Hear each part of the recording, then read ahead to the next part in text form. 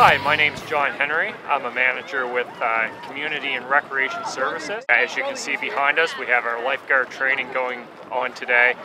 A very important aspect of uh, safeguarding our citizens of the HRM during the summer months. I'm Marla McKay. I work with HRM Aquatics. I am an aquatic specialist. There's probably about 84 staff here today. In their training, doing five rotational stations. It's a mandatory training session to get them ready for the beaches starting July 1st. They're doing rescue board techniques as well as tube rescues, working on spinals, beach searches, and beach setup as well as just practicing their general standard first aid.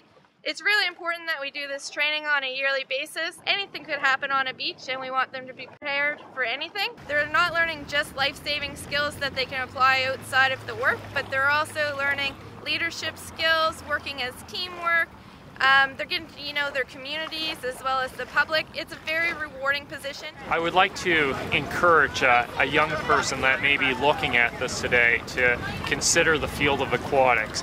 A wonderful opportunity to grow and develop, particularly in skills of leadership. Um, only the courageous should apply because this isn't for the faint of heart. We need young people who are willing to come and give their all. HRM Beaches is awesome. HRM Beaches is rewarding. I love working for HRM Beaches.